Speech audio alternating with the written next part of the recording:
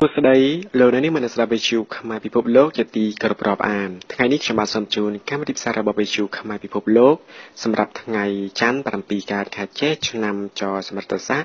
ពុទ្ធសករាជ2562ត្រូវនៅថ្ងៃទី21ខែឧសភាគ្រិស្តសករាជ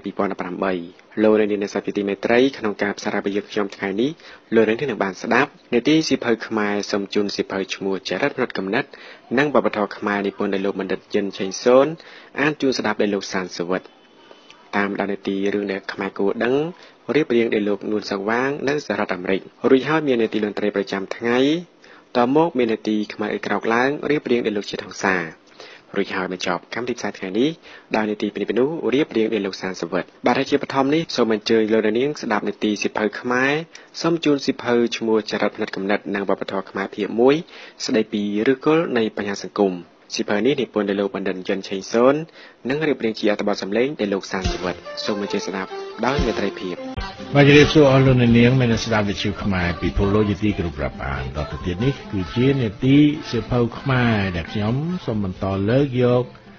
រឿងចរិតផ្នត់គំនិតនិងវប្បធម៌ខ្មែររបស់លោកបណ្ឌិតយិនឆេងសូនមកអានជូនលោកអ្នកនាងស្ដាប់កាលពីម្សិលមិញខ្ញុំអានដល់ត្រង់នេះបាទ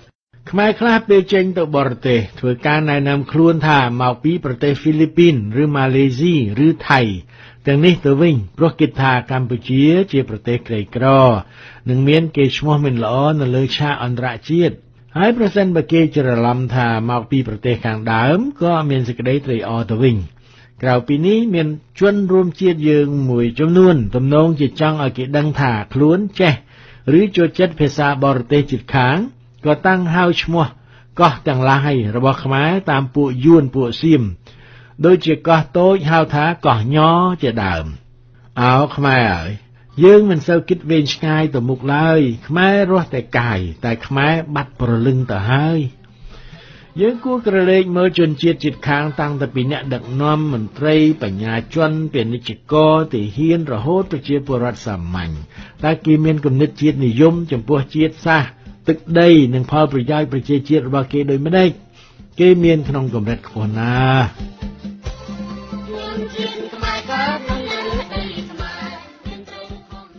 បាទហើយតទៅទៀតនេះគឺជាវគ្គបន្តស្ដីពីការមិនចូលចិត្តស្រាវជ្រាវនិងចងក្រង សង្គមដែលមិនរីកចម្រើន ជាច្រើនមិនចូលចិត្តធ្វើការស្រាវជ្រាវទេ ពួកគេច្រើនផ្ដេកផ្ដួលលើជំនឿ ការសន្មត់ ការស្មានអារម្មណ៍និងមនោសញ្ចេតនាប្រហាក់ប្រហែលគ្នានេះការគិតនិងសម្រេចចិត្តបែបនេះមិនសូវមានភាពប្រកបនិយមឡើយមកទល់ថ្ងៃនេះក៏អាចឃើញថាបរិវត្តសាមញ្ញក៏ដូចជាអ្នកធំយើងដែរច្រើនប្រើវិធីនេះជួនកាលមានឯកសារហើយមិនខំស្រាវជ្រាវស្វែងយល់ឲ្យច្បាស់លាស់ទេប្រការនេះហើយដែលយើងអាចឃើញថាខ្មែរច្រើនងាយធ្លាក់ក្នុងពរេវិនិច្ឆ័យ ការស្មានការលៀបពណ៌គ្នា ការចោទប្រកាន់គ្នាដោយគ្មានមូលដ្ឋានជារឿយរឿយដែលធ្វើឲ្យខ្មែរងាយបែកបាក់គ្នា ឬមិនទុកចិត្តគ្នាបាតុភិបបែបនេះលេចធ្លោខ្លាំងកាលក្រោមសម័យកម្ពុជាប្រជាធិបតេយ្យអ្នកដែលមានទស្សនៈផ្សេងពីក្រមខ្លួនសុទ្ធតែជាអ្នកក្បត់ជាតិជាខ្មាំងតើរបបនេះកាប់សម្លាប់កម្មាភិបាលល្អល្អអស់ប៉ុន្មានដែលពួកគេសន្មតថាជាភ្នាក់ងាររបស់យួនឬ CIA នោះ ប៉ុន្តែគួរឲ្យអាណត្តិអាធំដោយវប្បធម៌បែបនេះនៅតែបន្តលងកម្ពុជា ក្នុងពេលបច្ចុប្បន្នដែរយើងឃើញហើយថាប្រវត្តិសាស្ត្រទេដែលជាអ្នកវិនិច្ឆ័យថាអ្នកណាដែលក្បត់ជាតិពិតនោះទោះជាយ៉ាងណាក៏ដោយ យើងមិនគួរទុកវប្បធម៌បែបនេះឲ្យមានជីវិតតទៅទៀតទេព្រោះរបបកម្ពុជាប្រជាធិបតេយ្យមានគោលការណ៍ប្រមាថអាយុជីវិតនិងតម្លៃមនុស្សរួចទៅហើយដោយប្រកាន់ថាសូវសម្លាប់ច្រឡំជាងទុកមនុស្សដ៏សង្ស័យតាមពិតការស្រាវជ្រាវមានច្រើនណាស់តាំងពីការរកមូលហេតុឬឫសគល់នៃពាក្យឬបច្ចេកសព្ទផ្សេងផ្សេង ហេតុការអ្វីមួយប្រភពនឹងអ្វីដែលនៅពីក្រោយដំណឹងឬព័ត៌មានជៀសវាងភាពប្រឡំប្រកៅការយកព័ត៌មានបែបក្អែកមួយជាក្អែក10ជាមូលដ្ឋាននៃការសម្រេចចិត្តជៀសវាងការផ្អែកលើមនោសញ្ចេតនារហូតដល់ព្រឹត្តិការណ៍ប្រវត្តិសាស្ត្រពីចិត្តសាស្ត្រពីសង្គមសាស្ត្រពីវិទ្យាសាស្ត្រពីនយោបាយនិងពីវប្បធម៌ជាតិពីតំបន់និងពិភពលោកជាដើមប្រការមួយទៀតគឺការចងក្រងឯកសារព័ត៌មានឬប្រវត្តិ នេះជាកិច្ចការសំខាន់មួយដើម្បីកសាងសង្គមឆ្ពោះទៅអនាគតយើងខ្សត់ណាស់នៅលើកិច្ចការនេះឯកសារមួយចំនួន បានត្រូវដូនតាខិតខំចារលើថ្មលើស្លឹករឹតសត្រាឬក្រាំងគម្ពីរនានាសេះសល់តាមវត្តខ្លះជាដើម មួយចំនួនត្រូវបាត់បង់មួយផ្នែកត្រូវបានបារាំងដូចជាអ្នកស្រី Suzanne Capelès ជួយចាត់ចែងចម្លងទុក ដូចជាច្បាប់ក្រមងុយជាអាច កុំភ្លេចថាយើងក៏សាងថ្មីមួយផ្នែកក៏ផ្អែកលើអ្វីដែលយើងមានមកហើយខ្ញុំសរសេរសភៅនេះបានក៏ពឹងផ្អែកលើឯកសារការចងក្រងរបស់រៀមច្បងខ្មែរនិងឯកសារពួកអ្នកស្រាវជ្រាវបរទេសដែលបន្សល់ទុកឬដែលអាចរកបានម្យ៉ាងទៀតអ្វីដែលកើតមានអាចឲ្យពលរដ្ឋចំនួនក្រោយរបស់យើងរៀនសូត្រនិងជៀសចេញពីកំហុសពីមុនទៅនោះបាន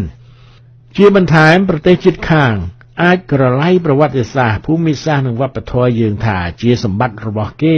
ព្រោះយើងគ្មានមូលដ្ឋានអ្វីអះអាងថាជាសម្បត្តិរបស់ជាតិខ្លួន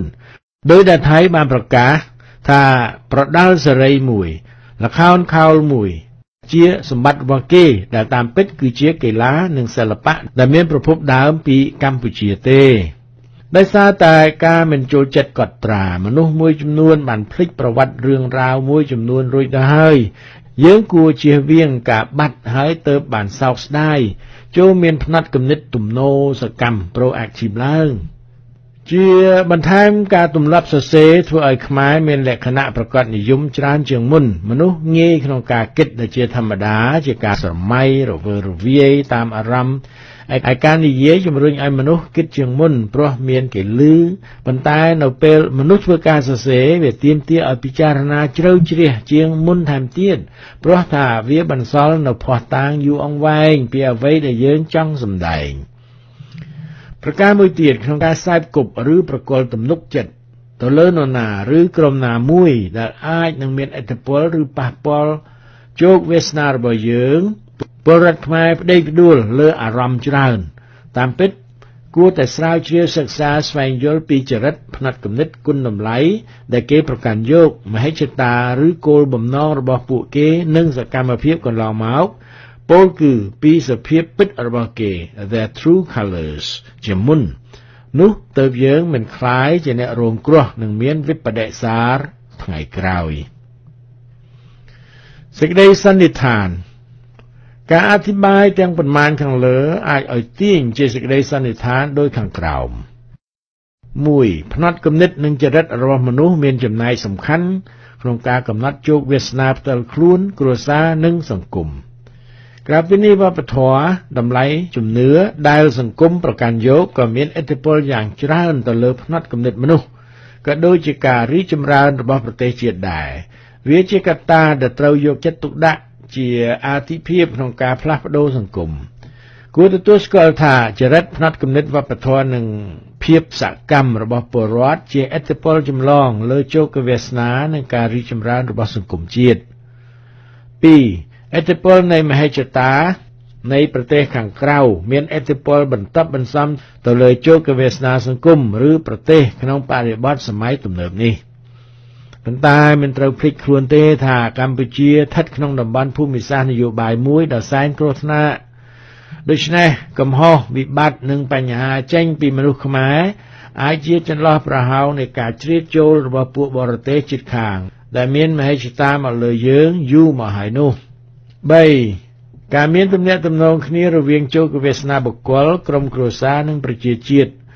កត្តាទាំងនេះជាឥទ្ធិពលទៅវិញទៅមក បើប្រជាជាតិរលាយគ្រួសារនិងបុគ្គលក៏ជួបបញ្ហាដូចគ្នាជាក់ស្ដែងការឡើងកាន់អំណាចនៃរបបកម្ពុជាប្រជាធិបតេយ្យ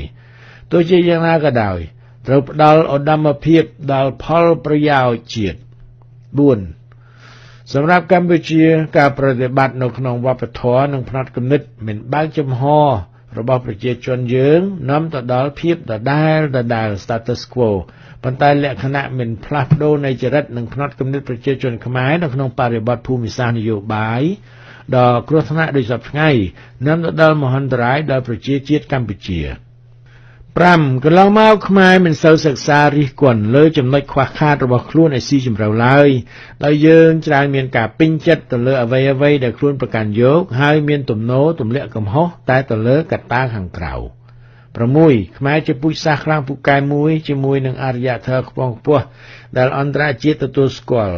លោក Jean Bernard ដែលជាអ្នកវិទ្យាសាស្ត្រសិក្សាប្រវត្តិនិងជាតិពន្ធុមនុស្សផ្អែកលើការវិភាគឈាមដោយដែលបរិយាយពីទំព័រ71ដល់73រកឃើញថា អ្នកមានកូលីកាក្រហមពិសេសអឺពេញលេញជាពូជពងដែលមានអរិយធម៌ស៊ីវិល័យដូចជាខ្មែរនិងពួកម៉ាយ៉ា ពួកនេះធ្លាប់រស់នៅខាងត្បូងប្រទេសមិចស៊ិកនិងខាងជើងតំបន់អាមេរិកកណ្ដាលសពថ្ងៃប៉ុន្តែភាពរុងរឿងនេះបាត់បង់ទៅវិញក្រោយដែលខ្មែរប្រកាន់ផ្នត់គំនិតនិងវប្បធម៌អវិជ្ជមានឬជំងឺ ចំណុចខ្វះខាតនៃចរិតនិងផ្នត់គំនិតអវិជ្ជមានសំខាន់សំខាន់របស់មនុស្សខ្មែរមាន ភាពអញ្ញនិយមអាត្មានិយមភាពអស្មិមានះជ្រុលនិយមការប្តេជ្ញាលើអារម្មណ៍និងមនោសញ្ចេតនា ភាពអកម្មបាត់ភាពម្ចាស់ការ ឬការពឹងផ្អែកលើគេ និងការបាត់បង់គុណធម៌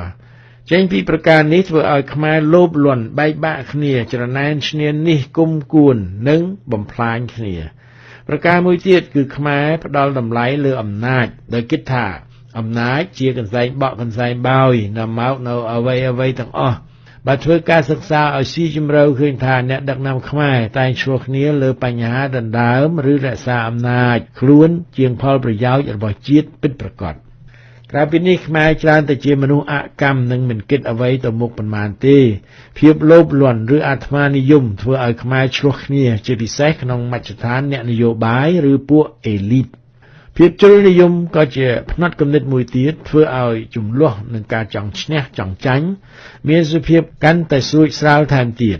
អស្មិមាននេះនឹងអញជាធំ ឬមានតែអញឬក្រុមអញគឺជារបាំងដល់ការកសាងលទ្ធិប្រជាធិបតេយ្យដែលមិនអាចរីកដុះដាលបានឡើយតាំងពីចុងនៃបណ្ដាឆ្នាំ1940មកម្លេះ ផ្ទុយទៅវិញគឺតាមរយៈអញនិយមនិងអាត្មានិយមនេះហើយដែលជាច្រកមួយឬជាបង្អួចយុទ្ធសាស្ត្រសម្រាប់ពួកបរទេសជ្រៀតជ្រែកបញ្ចូលមនោគមវិជ្ជានិងយុទ្ធវិធីទាញផលប្រយោជន៍របស់គេនៅក្នុងចំនួនរវាងខ្មែរនិងខ្មែរទីបំផុតដោយសារភាពឆោតល្ងង់ក្តីលោភលន់នឹងការផ្ដោតលើអារម្មណ៍ចង់ឈ្នះចាញ់គ្នាឯងយើងក៏ដើរចូលអន្ទាក់គេបំរើប្រយោជន៍គេដោយមិនដឹងខ្លួនឬដឹងខ្លួន។ 7ខ្មែរបន្សាំខ្លួនទៅនឹងភាពប្រឡំប្រកៅមិនស្កិលមិត្តឬសត្រូវច្បាស់លាស់ខ្លឹមសារនិងសម្បកក្រៅនេះក៏ជាចំណែកមួយនៃបញ្ហាសង្គមខ្មែរដែរ8ក្រៅពីការបែកបាក់គ្នាខ្មែរតែងបំភ្លេចបំផ្លាញអ្នកចេះដឹងខ្លួនឯងនិងចូលចិត្តរក្សាអ្នកដែលមានតែគំនិតអែបអបគ្រប់គ្រងខ្លួននៅក្បែរហើយមិនទុកឱកាសដល់បញ្ញវន្តស្នេហាជាតិមានឧត្តមគតិនិងមនសិការមិនលោភលន់ ចូលរួមបំរើជាតិទេ បញ្ញវណ្ណាហ៊ានតស៊ូមតិត្រូវប្រឈមនឹងគ្រោះថ្នាក់ដូច្នេះសង្គមអភ័ព្វយើងមិនស្គាល់សេចក្តីសុខចម្រើនពិតប្រាកដឡើយព្រមទាំងមិនមានវាសនាល្អទេ ដែលដូចគ្នាទៅនឹងកង្កែបដែលមិនអាចលោតចេញពីអណ្ដូងមរណៈឡើយ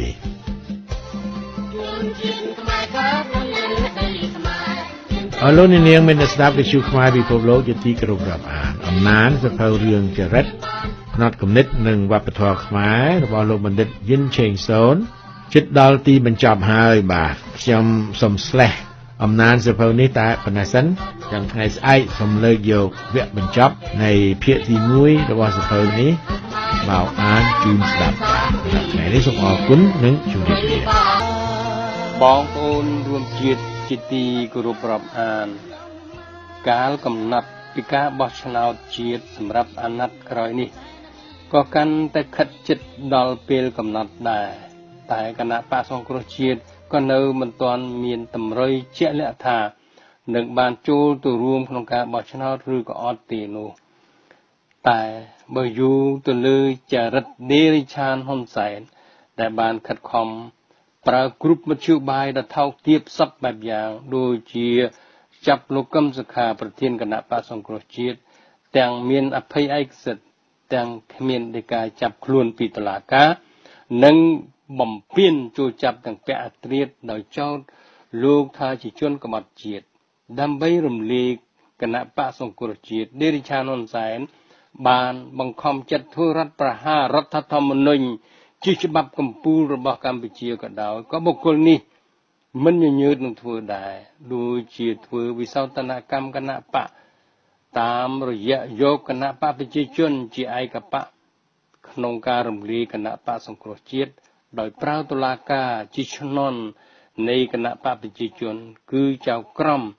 ដែលជាបកជននៃគណៈបកប្រជាជន ឬហៅថាអតីតក្រមខ្មែរយើងមិញ មកសម្រេចកាត់ក្តីរំលាយគណៈបកសង្គ្រោះជាតិនិងដាក់បញ្ញត្តិមិនអោយមន្ត្រីជាន់ខ្ពស់118រូបធ្វើនយោបាយក្នុងរយៈពេល5ឆ្នាំទៀតយើងសួរថាតើនាយរដ្ឋាភិបាលហ៊ុនសែនមានសិទ្ធិអំណាចអ្វីមកអនុម័តរំលាយគណៈបកសង្គ្រោះជាតិតាមទំនឹងចិត្តដូចនេះបងប្អូនរួមជាតិនិងសហគមន៍អន្តរជាតិក៏បានមើលឃើញដូចគ្នាដែរថា ហ៊ុនសែនធ្វើបែបនេះព្រោះវាខ្លាចសន្ទុះប្រជាប្រិយភាពរបស់គណៈបកសង្គ្រោះជាតិនឹងអាចធ្វើឲ្យគណៈបកប្រជាជនចាញ់ឆ្នោតនៅអាណត្តិក្រោយនេះមិនខានម្លោះហើយនារីឆានហ៊ុនសែនដែលជាមនុស្សមានចិត្តអាត្មានិយមច្រឡោងខាមជាអ្នកលេងជើងកាង ក៏រកល្បិចទុច្ចរិតសពបែបយ៉ាងមករំលាយគណៈបកសង្គ្រោះជាតិនៅថ្ងៃទី16វិច្ឆិកាឆ្នាំ2017ឲ្យដល់នៅក្តីវិនិច្ឆ័យនេះឯងតែការពិតគណៈបកសង្គ្រោះជាតិរលាយឈ្មោះតែនៅលើក្រដាស់ទេឯការពិតជាក់ស្ដែងព្រលឹងនៃគណៈបកសង្គ្រោះជាតិបានកប់ជាប់ទៅក្នុងបេះដូងប្រជាពលរដ្ឋខ្មែរជាងមួយជំហៀងប្រទេសទៅហើយ និងជាហេតុធ្វើឲ្យដេរិឆានហ៊ុនសែនដេកមិនលក់នៅក្នុងស្ថានភាពដ៏ចម្រូងចម្រាសដែលកដេរិឆានហ៊ុនសែនបានខំរំលាយគណៈបកសង្គ្រោះជាតិដ៏សាហាវនិងបំពេញច្បាប់កម្ពុជារបស់ប្រទេសកម្ពុជានេះ គឺជាការពិត100%ជាសំណាងល្អនៅក្នុងលោកនេះ មានប្រទេសដ៏ច្រើន ដែលមានសុភនិច្ឆ័យបាន កាន់ជើងគណៈបកសង្គ្រោះជាតិថា ជាគណៈបកដែលទទួលរងទុក្ខទរណកម្មនិងការផ្ដន់ទាពីគណៈបកឌីរិឆានហ៊ុនសែនហើយសហគមន៍អន្តរជាតិនេះ មានសភានៃប្រទេសទាំង173ប្រទេសហៅ IPU សហភាពអឺរ៉ុបអង្គការសហប្រជាជាតិ និងប្រទេសធំធំមានសហរដ្ឋអាមេរិកកាណាដាជប៉ុនឥណ្ឌូនេស៊ីសភានៃប្រទេសអាស៊ានសុទ្ធតែបានជួយគ្រប់គ្រងគណៈបកសង្គ្រោះជាតិនិងលើកទឹកចិត្តគណៈបកដ៏ធំនេះ តែទន្ទឹមនឹងការលើកទឹកចិត្តពីសហគមន៍អន្តរជាតិដ៏ច្រើនក៏ដោយ តែជាអកុសលនៅលើផែនដីនេះនៅមានប្រទេស ដែលមាន មេដឹកនាំមិនគោរពសិទ្ធិមនុស្សនិងលទ្ធិប្រជាធិបតេយ្យដូចជាប្រទេសកុម្មុយនីសមួយចំនួន មានប្រទេសរុស្ស៊ីយួនកូរ៉េខាងជើង និងចិនដីគោកហើយនៅក្នុងចំណោមប្រទេសកុម្មុយនីសទាំងនេះមាន ប្រទេសចិនដីគោកនេះបានមកជួយគ្រប់គ្រងដេរិឆានហ៊ុនសែនយ៉ាងពេញមុខដែលជាហេតុធ្វើឲ្យដេរិឆានអតីតនៃខ្មែរក្រហមនេះឡើងចាងលែងស្ដាប់មតិអន្តរជាតិនិង ប្រទេសសេរីនានាក្នុងលោកនេះតលតែសោះភាពរឹងត្អឹងរបស់ដេរិឆានហ៊ុនសែនមើលមិនឃើញពីផ្លូវសម្រោះសម្រួលជាមួយគណៈបកសង្គ្រោះជាតិតលតែសោះគឺមានតែទិដ្ឋិមានះរឹងត្អឹងយកឈ្នះលើគណៈបកសង្គ្រោះជាតិដោយល្បិចកលដ៏ទៀបថោកក្រោមការឧបត្ថម្ភពីប្រទេសចិនកុម្មុយនីសតែប៉ុណ្ណោះ សូមបងប្អូនពិចារណាលើពាក្យសម្ដីរបស់ដេរីឆានហ៊ុនសែនដែលបាននិយាយអង្វរពលករនៅរោងចក្របាវិតថ្ងៃទី9ឧសភាមើល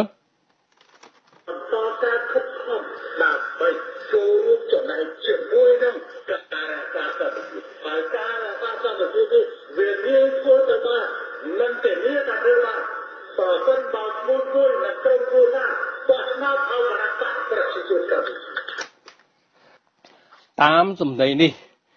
បញ្ជាក់ឲ្យឃើញថាដេរិឆានហ៊ុនសែន មានការផិតភ័យខ្លាំងទើបអង្វរកកម្មករនៅតាមរោងចក្រឲ្យជួយបោះឆ្នោតឲ្យគណៈបកខ្លួននោះលើសពីនេះដេរិឆានហ៊ុនសែន បានចំណាយប្រាក់ដ៏ច្រើនដើម្បីសោកទឹកចិត្តកម្មករនិងការខົບខិតជាមួយនឹងថៅកែរោងចក្របង្ខំឲ្យកម្មករត្រូវតែ ចេញមកទទួលស្វាគមន៍ហ៊ុនសែនបើកម្មករណាមិនព្រមធ្វើតាមទីនឹងទទួលនៅទុក្ខវិបាកគ្រប់បែបយ៉ាងនេះបញ្ជាក់ឲ្យឃើញថាឆ្កែកន្ទុយខៀនមិននៅតែខៀនមិនអាចលាបានដាច់ខាតឬមួយដែលពាក្យចាស់លោកថាត្រកូលសជាតិមាយាទសពូជដូច្នេះមនុស្សពីលដោយដេរិឆានហ៊ុនសែននេះมันអាច កែចរិតបានដាច់ខាត ចំពោះសម្ដីរបស់ដេរិឆានហ៊ុនសែនអង្វកកម្មករនៅបវិតឲ្យជួយបោះឆ្នោតឲ្យគណៈបកប្រជាជននេះ លោកសំរងស៊ីក៏បានរំលឹក ដាស់តឿនឲ្យប្រជាពលរដ្ឋយល់អំពីល្បិចបោកប្រាស់របស់ហ៊ុនសែនដែលមានសេចក្តីថាតែនិយាយតែជារឿងសន្តិភាពខ្លាំងៗរបស់គាត់គឺសន្តិភាពផ្លូវខ្មោចសន្តិភាពជាសកល រជារាស្ត្ររងគ្រោះស្រេកយំបាត់ដីធ្លីគេលួចប្រាក់ខែគេបង្កប់គ្រប់សពគ្រប់បែបយ៉ាងទាំងអស់នឹងគាត់មិននិយាយទេអត់ការងារធ្វើប្រជារាស្ត្រចំណាក់ស្រុករាប់លានអ្នកទៅស៊ីឈ្នួលគេនៅប្រទេសជិតខាង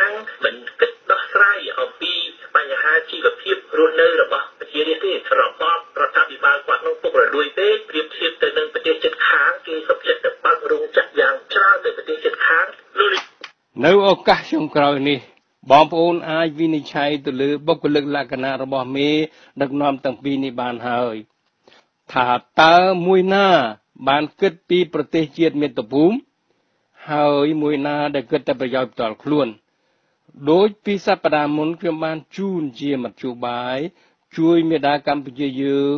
មានតែផ្លូវមួយទេ គឺបងប្អូនរួមជាតិខ្មែរនៅគ្រប់ស្រទាប់ថ្នាក់ត្រូវតែរួបរวมគ្នាទម្លាក់ដេរិឆានហ៊ុនសែន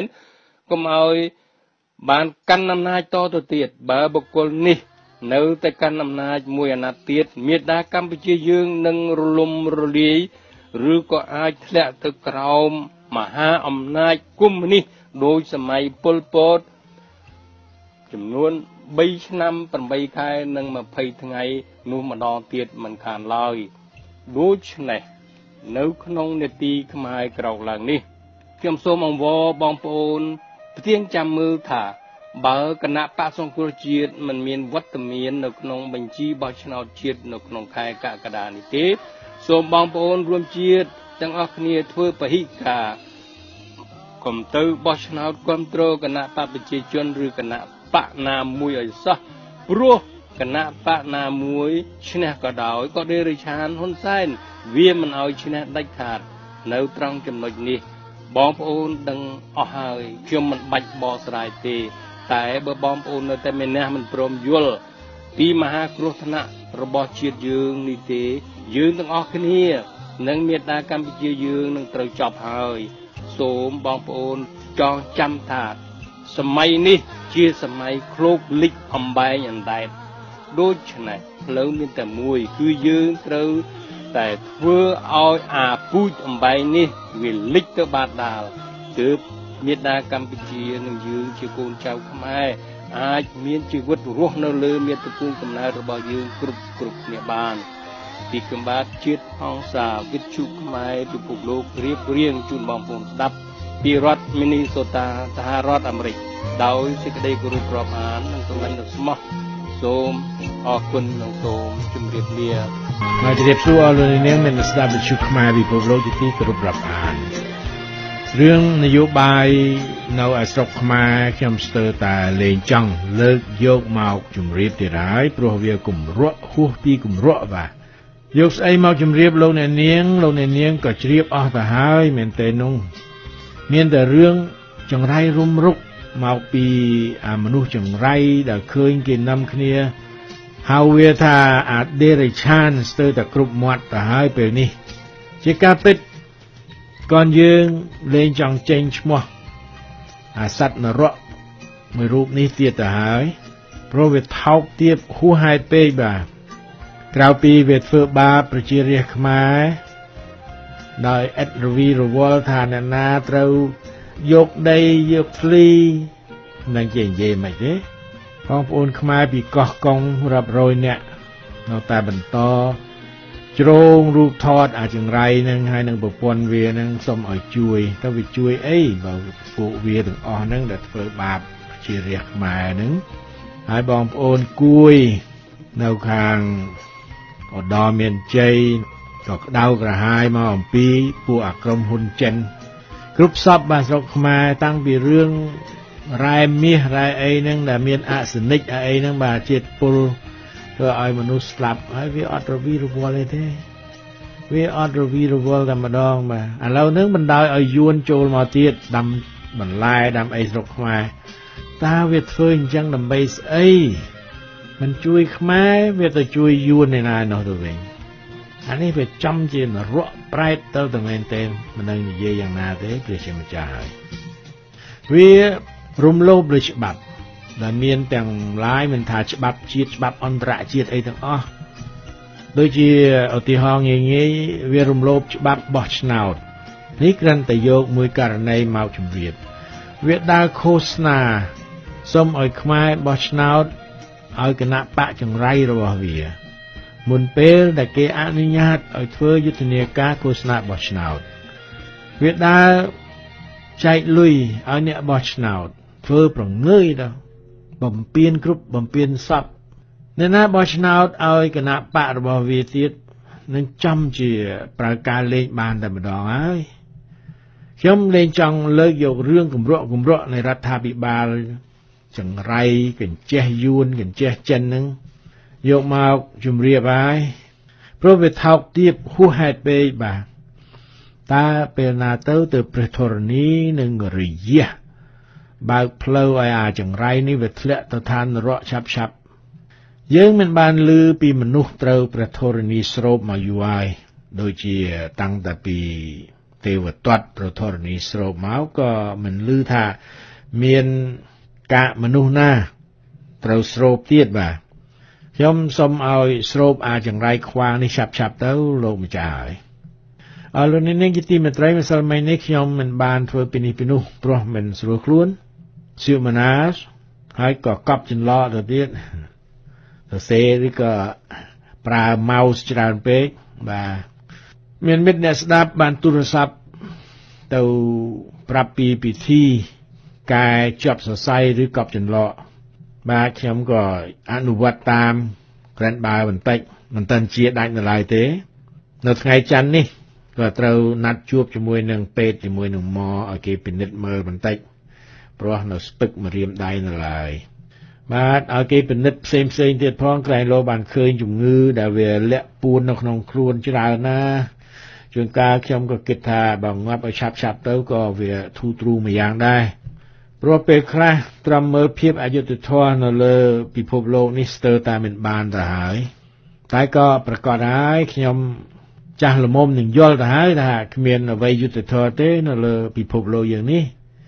ភាសាអង់គ្លេសមួយគេថា nothing's fair in love and war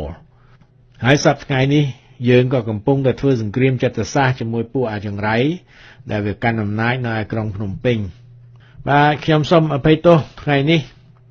សូមពីនេះពីនោះខ្លីៗទៅចោះព្រោះថាបានណាត់នឹងពេទ្យមកនៅពេលព្រឹកដូច្នេះនៅយប់ជ្រៅមិនបានបាទនេះក៏ម៉ោង1ម៉ោង2ទៅហើយបាទដូច្នេះសូមអភ័យទោសបាទព្រោះថាក្រៅពីឈឺកប់ចន្លោះនោះហើយក៏នៅមានកូនក្មួយគេសុំឲ្យប្រែអត្ថបទស្នេហាជាតិឲ្យគេទៀត ខ្ញុំស្ទើរតែថាខំថ្មិញគៀមស្មៅបកប្រលិតឲ្យតម្រាំតែនឹងរួចក៏ម៉ោងជិត2ដណ្ដប់រំលងអាត្រៀតដែរបាទដូច្នេះខ្ញុំសូមទោសខ្ញុំគ្មានអ្វីយកមករាយការណ៍ទេទេគ្មានពេលនឹងស្វែងរកឃើញដែរដំណឹងមកចំព្រោះក៏ប៉ុន្តែសិតតែរឿងចង្រៃដូចខ្ញុំបានជម្រាបអមាញ់មិញមករឿងអាចង្រៃនៅស្រុកខ្មែរ បនទៅវាប្រកាច់ស្លាប់ឲ្យឆាប់ឆាប់ឲ្យចប់ចប់រឿងវាមិនចេះស្ដាប់ទៀតផងវាដូចជាស្វិតស្វាញមែនបាទខ្ញុំមានរឿងពីបរិយអង្គរមកជម្រាបបន្តិចទៅចុះម្សិលមិញនេះក៏ផុតថ្ងៃទទួលបេក្ខជន ប្រធានគណៈកម្មការនាយកអាណត្តិទី2បាទរបស់គម្រោងបរិយអង្គរផុតទៅហើយបាទគេឈប់ទទួល តែយ៉ាងណាបើសិនជានៅមានក៏អញ្ជើញចូលឈ្មោះមកបាទលោកខណិតសុកបានផ្ញើខិត្តប័ណ្ណមួយច្បាប់មកឲ្យខ្ញុំអានជម្រាបលោកអ្នកនាងបាទខិត្តប័ណ្ណសរសេរថាសហគមន៍បរិយអង្គរ Inc ការបោះឆ្នោតជ្រើសរើសប្រធាន ប្រតិបត្តិអាណត្តិទី2នៃសហគមន៍បរិយអង្គរមួយប្រកាសឈ្មោះបេក្ខជនចូលឈ្មោះជាប្រធានពីថ្ងៃខែកំណត់គឺថ្ងៃទី26 ខែឧសភាឆ្នាំ2018ពីមុនថាថ្ងៃ27ឥឡូវគេលើកមកថ្ងៃ26ខែឧសភាវិញហើយបាទពេលវេលាគេចាប់ពីម៉ោង12ថ្ងៃត្រង់រហូតដល់ម៉ោង4ល្ងាច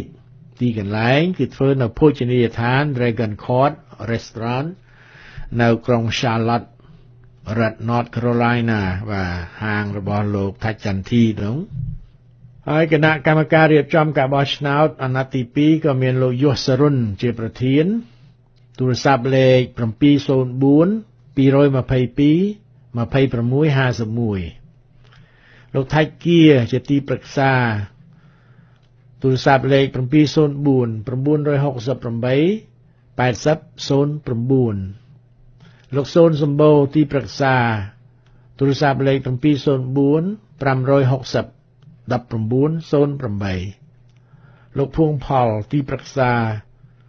ទូរស័ព្ទលេខ704 517 0250លោកសុកនិមលេខាធិការទូរស័ព្ទលេខ704 641 4008លោកផាវយ៉ៃអគ្គពិនិត្យទូរស័ព្ទលេខ706 362 39 33លោកអ៊ិនសេរីអគ្គពិនិត្យទូរស័ព្ទលេខ704 236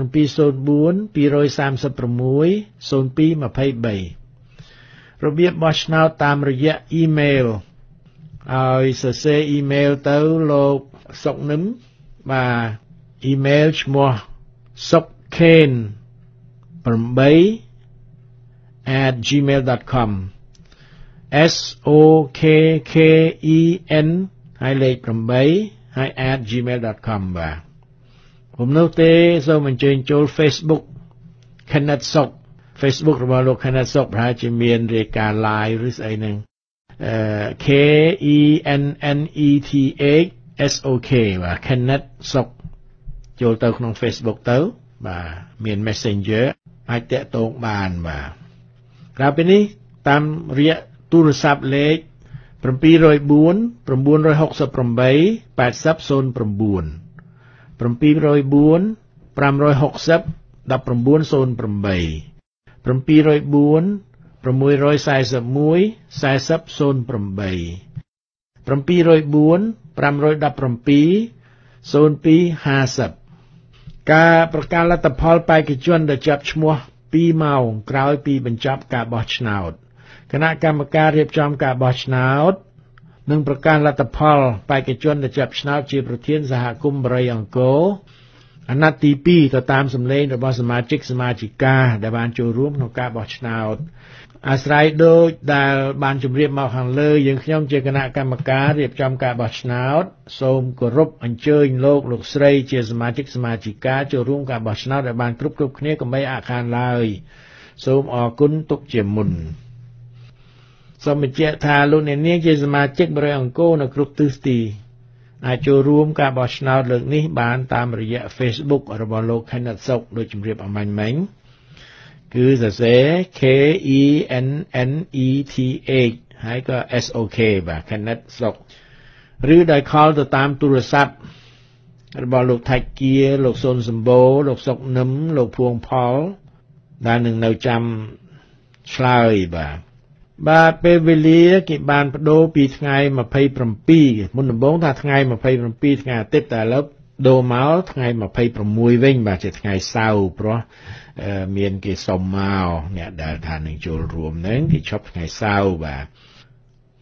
ដូច្នេះនៅថ្ងៃសៅរ៍26អូសភាចាប់ពីម៉ោង12ថ្ងៃត្រង់រហូតដល់ម៉ោង4រសៀលម៉ោងនៅឆ្នេរខាងកើតនៃសហរដ្ឋអាមេរិក ត្រូវនឹងម៉ោង3រសៀលដល់ម៉ោង7យប់ម៉ោងនៅខាងឆ្នេរខាងលិចបាទដូចជានៅកាលីនៅ Washington State ជាដើម